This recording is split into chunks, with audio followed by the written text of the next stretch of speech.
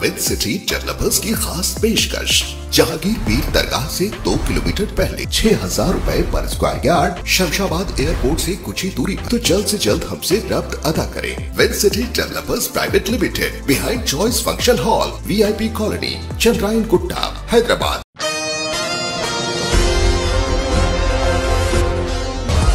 तारीख 28 सितंबर को दोनों कम्युनिटीज़ की जानब से दो बड़े और इंतहाई बाविखार त्यौहार की खुशियाँ मनाई जाएगी, जहाँ एक जानब ईद मिलादुलनबी की खुशियाँ मनाई जाएगी तो वहीं दूसरी जानब विनायका विसर्जन यानी गणेश विसर्जन के भी इंतज़ाम किए जाएँगे, जिसके चलते पुलिस की जानब से काफ़ी कड़े और बेहतरीन इंतज़ाम किए जा रहे हैं। बोराबंडा पुलिस स्टेशन हदूद के तहत पुलिस की जानब से फ्लैग मार्च का अहतमाम किया गया।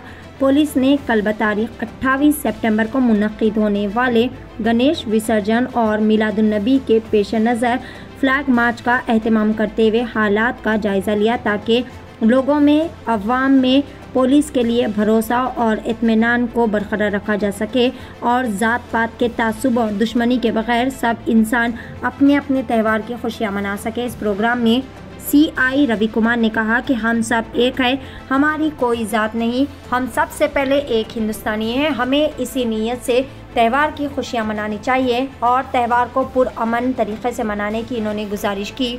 इस प्रोग्राम में additional DCP training centre Srinivas Rao S R Nagar dynamic ACP Y Venkateshwar Rao, additional DCP training centre Srinivas Rao, inspector K Ravi Kumar detective inspector Bhopal Gaur और मुख्तलिफ पुलिस स्टेशन के जुमला सौ अहलकारों ने इस फ्लैग मार्च में हिस्सा लिया आइए देखते हैं इस खसूस में वहाँ के चंद मनाजिर पेश है हमारे नुमाइंदा रिपोर्टर मोहम्मद शरीफुद्दीन की एशियन टीवी न्यूज़ के लिए यह खसूसी रिपोर्ट గుడ్ ఈవినింగ్ అండి ఈరోజు బోరబండ పోలీస్ స్టేషన్ పరిధిలో నేను ఏసీపీ ఎస్ఆర్ నగర్ మరియు బందోబస్తుకు వచ్చినటువంటి అధికారులు అడిషనల్ ఎస్పీ శ్రీనివాస్ గారు అలాగే సిఐలు ఇద్దరు ముగ్గురు ఎస్ఐలు పదిహేను మంది దాదాపు నూట యాభై మంది సిబ్బంది బోరబండ బస్టాండ్ నుంచి బోరబండ లిమిట్స్లో శ్రీరామ్ నగర్ వరకు ఈ ఫ్లాగ్ మార్చ్ చేయడం జరిగింది. ఈ సందర్భంగా ప్రజలందరికీ పోలీస్ డిపార్ట్మెంట్ యొక్క విజ్ఞప్తి ఏంటంటే మేము ప్రజలు ఈ యొక్క పండుగని చేసుకోవడానికి అన్ని రకాల బందోబస్తు చర్యలు తీసుకోవడం జరిగింది.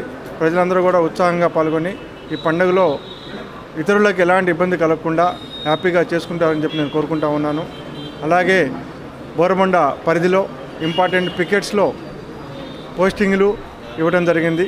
సరైన మంచి అధికారులను కూడా అక్కడ పోస్ట్ చేయడం జరిగింది.